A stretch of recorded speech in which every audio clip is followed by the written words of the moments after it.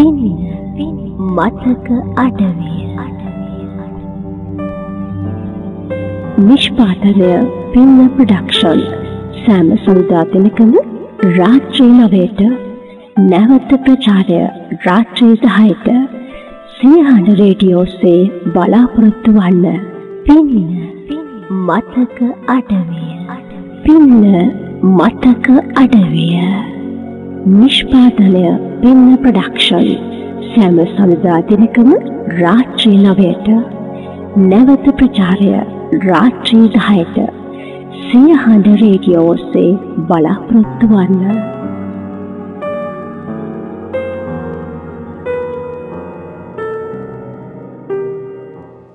අතීතය වර්තමානය හා අනාගතය එකට යා කළ ජීවිතයේ දුක සතුට වේදනාව එකට කැටිකරගත් සුන්දර මතක පිරී.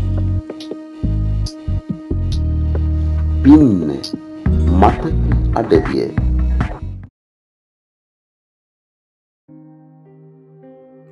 ඉවසල ඉවසල දරාගන්න බැරිවෙච්ච තැන ලස්සන නිලට තිබුණ අහස කළු ගැහිලා වර්ෂාවක් මාර්ගයෙන් මහි මාතාවට තමන්ගේ දුක කියද්දී මලිතුත් ඒ දිහා බලන් හිටියේ හිස් හැඟීමකින්.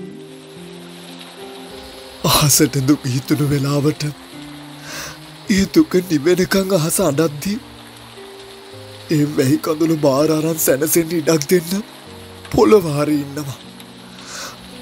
ඒත් මට මට එහෙම කවුරුවත් නෑ. මගෙම වැරදි නිසා මං අද අසරණයි. මහා විශාල මන්දිරයක් වගේ ගෙදරක සර්වන් කෙනෙක් විතරයි මට ඉතුරු.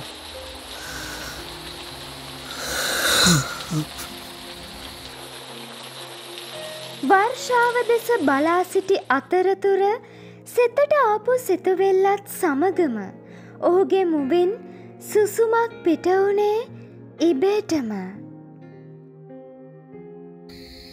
ඒ කාලෙ මං එම නොකළනම් එහෙනම් එහෙනම් මට මෙහෙම නොවෙන්න තිබුණා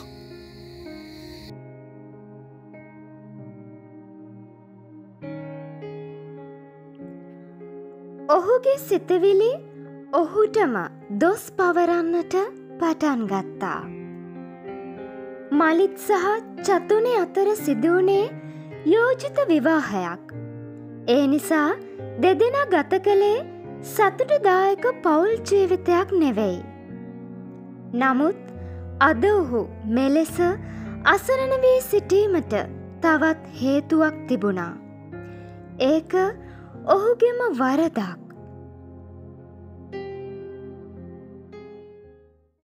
වසර පහකට පෙර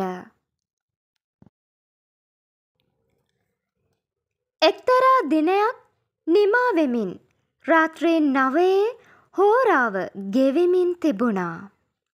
නිදන කාමරයේ සයනයක් මත වැතර සිටි චතුනය අසලට මලිත් පැමිණෙන්න්නට වනේ ඇගේ ගත මතින් තමන්ගේ ආශාවන් සංසිදුවා ගන්නට. අනේ මලෙත් පින් සිද්ධවේ මහත්තයෝ? අදනං එපා. මට මට අසනීපයි චතුනේ අපහසුවෙන් පවසන්නට වනේ සෑම රාත්‍රියකම වගේම අදත් විඳින්නට වෙන වේදනාත්මක පැය කිහිපය ආරම්භ වන්නට ඔන්න මෙන්න තිබෙන මොහොතක. අනේ මේ කටවාගෙන හිටපං මූසලකමට අඩන්න ගත්ත මෙතන. යකෝ හෝක උඹට විතරක් හැදැන ලෙඩක් නෙමෙයිනේ. හැම ගෑනියකුට මොයිලඩේ හැම මාසම හැදෙනවනේ. හනික උඹලා ඉන්න පිරිමි අපිය සතුටු කරන්න තමයි. අනේ ප්ලේස් මලෙත්. ඇයි ඔයත් තේරුම් නොගන්නේ. සත්තයි මට අමාරුයි මහත්තයෝ. ඒ වදන් පිටවන මොහොතෙද චතුනගේ දෙනත කඳුලෙන් පිරී තිබුණේ. ඇගේ කුස තුළින් දැනෙන වේදනාව කියාපාන්නට වගේ. මට ඒ බනාදාල නෑ. උඹ මගේ ගෑනි උඹ ඉන්න ඕනේ මම කියන විදිහට. කරන්න ඕනේ මම කියන දේවල්. නැතුව උඹමට උපදෙස්තෙ නොමනා නෑ. මලිත් පවසන්නට වනේ සිත් පිත් නොමැති විලසින්. අනේ මහත්තයෝ අත්තට විතරක් මට මෙහෙම ඉන්න දෙන්න වෙනද වගේ නෙවෙයි මට දැනෙනවා අද මට ගොඩක් කමාරුයි චතුනී මලිත් ඉදිරියේ යළි යළිත් බැගෑපත් වනේ මොහොතකට හෝ සහනයක් බලාපොරොත්තුවෙන්. නමුත්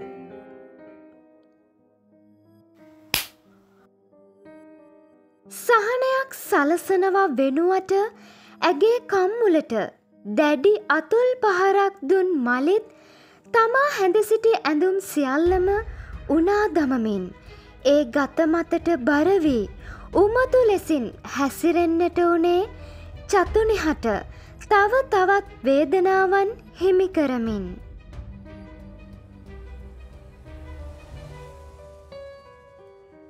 අඩ හෝරාවක් පමණ ගෙවීයත්ම මලිත්ගේ දුරකතනය නාද වෙන්නට පටන් ගත්තා.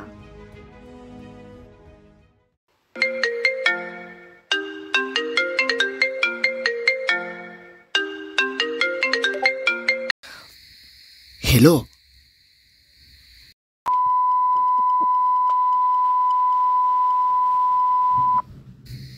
අනේ ඔව් ඔව්. ඉන්න. මං මේ එන ගමන්. ඉන්න ඉන්න. මං එන්නම්.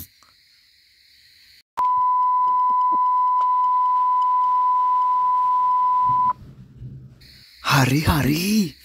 මට තව විනාඩි පාලවක් දෙන්න. මං එනවා. එසේ පවසා දුරකථනය විසන්ධි කර මලිත් තමා මීට සුළු වේලාවකට පෙර උනා දමමින් පසකට විසිකර තිබූ ඇදුම් ටිකද රැගෙන නානකාමරයට යන්නට වුණා. අනේ මහත්තයෝ කවදද ඔයා මේ දේවල් නතර කරන්නේ අනේ මගේ මහත්තය මේ හැම්ම දේම නතර කරලා මට ආදරය කරන්නෑ කියන්න මම දන්නවා මොකද එහෙම වෙනවනක් තැන් මං බලං හිටපු කාලෙ හොඳටම ඇති හෙත්තේ මොනවා වනත් මගේ මහත්තයට මං ආදරෙයි මලිත් ගිය දෙස බලාගෙන චතුනි සිතන්නට වුණා. ඉතින් නැත්ත විවාහෝ කාලෙ සිටම මලිත්ගේ ක්‍රියාකලාපය මෙසේ වුවත් චතුනි ඒ සියල්ලක්ම ඉවසන්නට වනේ ඇය ඔහුට ආදරය කරන බැවින්.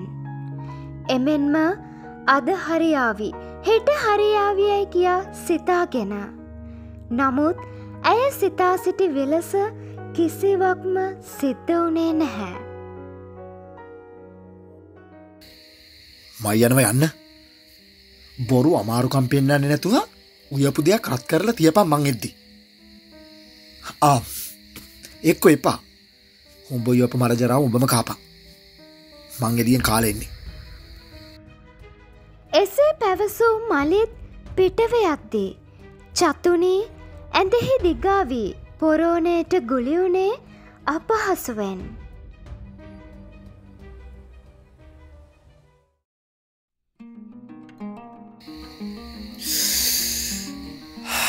ශා ඔයානන් නියමයි මං හොන්දට විනෝදුනා ගාන සැරවුනාට වැඩනම් හොඳයි. එහෙනම් ආය දවසක හම්බවෙමද හෝටල් කාමරය තුළ සිටි සරාගේ යුවතිය තම සලුපිළි ඇඟලා ගනිමින් අසන්නට වනේ තොදුල් හඬකින්. යා ශුව එසේ පිළිතුරු දුන්නේ මලිත්. බිරිඳ සිටෙද්දී වුවද ඔහු සෑම දිනකම වගේ වෙනත් කාන්තාවන්ගේ ඇසුරින් විනෝදවීමට පුරුදු වී සිටියා. තමන් පැමිණි කාර්ය අවසන් වනු පසුත් මලිත් නැවතත් නිවසට ආවා. ඔහු දොර විවර කරගෙන කාමරයට පැමිණ කොතෙක් කතා කළත් චතුනි හෙළවුණේවත් නැහැ. මේ නැගිටිනවා නිකම් මේ බොරුවදාන්න නැතුව මලිත් ඇගේ ගතමතින් අතක් තියා බලන්නට වනේ කිසිදාක ඇය මෙසේ නොසිට ඔහුට ප්‍රතිචාර දක්වන නිසා. එහෙත් දැන් පමා වුණා වැඩි බව ඔහුට වැටහුණේ චතුනිගේ ශරීරය ඒ වන විටත් අයිස්මෙන් සීතලව ඇති නිසා. ඉතින් ඇය මීට පැය කිහිපයකට පෙර කියා ඇත්තේ මුසාවක් නොවේ. සිතට දැනුනේ බියක්. අනේ දෙයනේ මෙයාට මෙහෙමුණේ මං අර කරපුදේ නිසාද හෙත් හේද හෙමුණා කියලා මෙයා මෙහෙම මැරෙන්න්න විදියක් නෑනේ ඒ සිතුවෙල්ල සමගම වහා ක්‍රියාත්මක වුණ මලිත් චතුනිව රෝහලක් වෙත රැගෙන ගියා.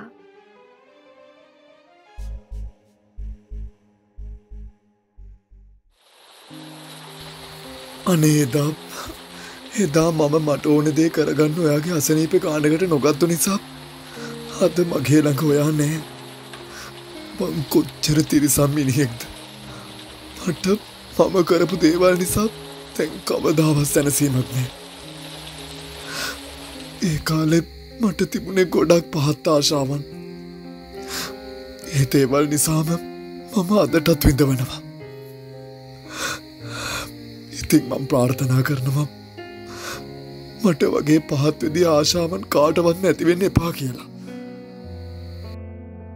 ඉතින් ඔහුගේ සිතුවිලි නිවැරදි.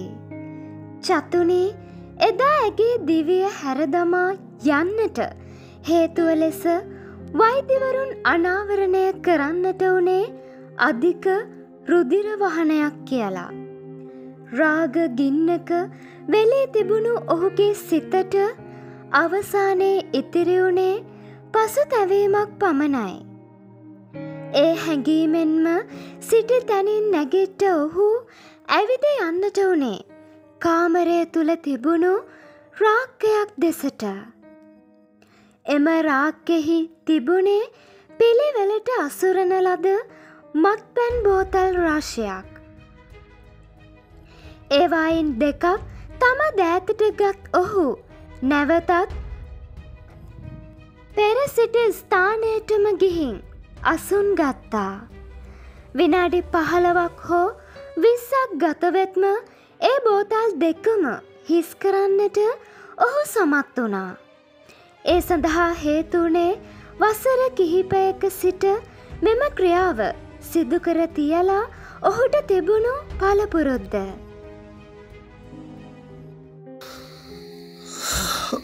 චතුනී මට මට සමාවෙන්න මැනික මම මම මහ පවකාරෙක් ඔව්. මාතරිසනෙක් මම. හෙත් හෙත් මැනික මට මට සමාවෙන්න හොයා හොයා මංඉන්ද ගොඩක් විඳෙව්වා.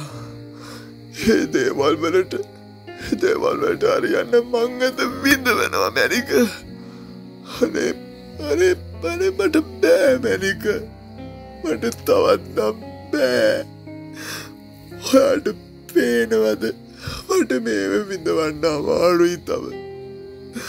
මට වාලකට එන්න ඕන මැනික මං එන්නද මැනික අනේ අනේ මම අනේ මං එන්නද මැනික ඔහු කියවන්නට වනේ මත් විකාරයෙන්.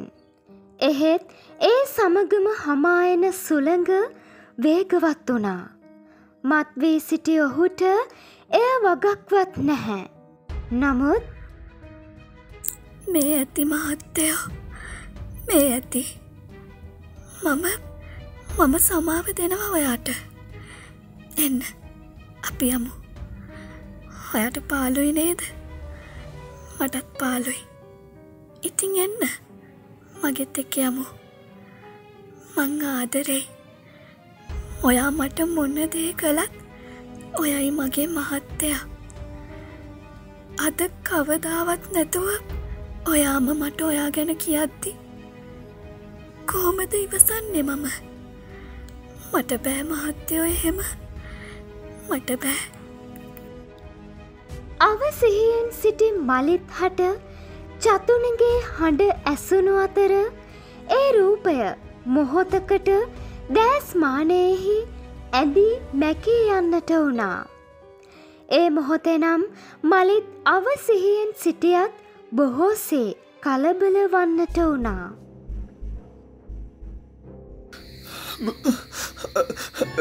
චතුනේ හොයා හොයා ඉන්න මැනික යන්න එපා. ඉන්න ඉන්න මැනික මාත් එනකම් මාවතරයි යන්න. මම මං ආයවාට කරදර කරන්නේ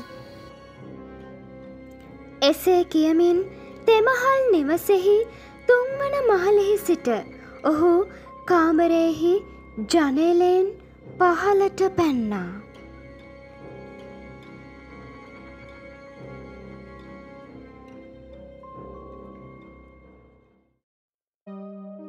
වරදක් කළ කිසිම කෙනෙකුට කුමන උසාවියකින් දඩුවම් නියම නොවනත් හදවත නම් මුසාවියෙන් කෙදින හෝ දඩුවම් නියම වනු ඇත. පසු තැවීම නම් හැඟීම විනිසුරුවරයා වූ කල මලිත් චූදිතයා විය.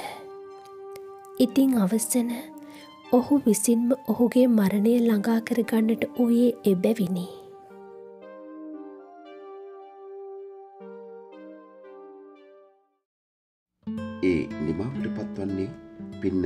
ප්‍රඩක්ෂන් ආයතනය මගින් ඉදිරිපත් කරනු ලබන පින්න මතක අඩවියෝස්සේ විකාසයට ලක්වන කතංගමාලාවේ එකසිය අනුව වන දිගහැරිම වූ රාගගින්නක සිතවෙලී කතංගමාලාවයි. එහි තිරපිටපත් රචනය කලා ශහරා සෙව්වන්දී හඬකවිම්මන්සෙන් සහයෝගය ලබා දුන්නා දිලිනී සෙව්වන්දී නොහොත් ඔස්කා ශහරා සෙව්වන්දී හර්ෂ විරාජ් හන්සිද සිල්වා සමගින් මාධවී කරුණාරත්න. සංගීත අධ්‍යක්ෂණය කළා ශ්වේතා කෞමදී. ගීතගායනය නිසාදී වෙද්ද සිංහ. සංස්කරණය කළා රස්මී ප්‍රභා එගොඩවත්ත. සම්බන්ධිකරණය කරමින් සහයෝගය ලබා දුන්නා රුවන් රත්නායක. ඉතින් මෙවැනි කතාංගමාලාවක් ඔබගේ ආලින්දයට රැගෙනෙන්නට තිරේ පිටුපස සිට අති දෙවන්ත ශක්තියක් එකතු කරන බුද්ධික පින්නදුව ඇතුළු පින්න කණ්ඩායමටත් මෙවැනි කතංග මාලාවක් ගුවන සිසාරාගුවන් ගත කරන්නට නිරන්තරයෙන්ම ඇප කැපවෙන සියහට ගුවන්ඩුදුරි නාලිකාවේ සභාපතිතුමිය ඇතුළු සියහන්ඩ කාර්ය මණ්ඩලයටත් අපි අපගේ කෘතාස්ත ස්තුතිය පොද කළ යුතුව තිබෙනවා. එමනං ලබන සොන්දත්‍රාත්‍රී නමයට මෙවැනි කතාංග මාලාවකින් හමුවනතුරු සමුගෙන යන්නටයි සූදානම අයුබෝවන්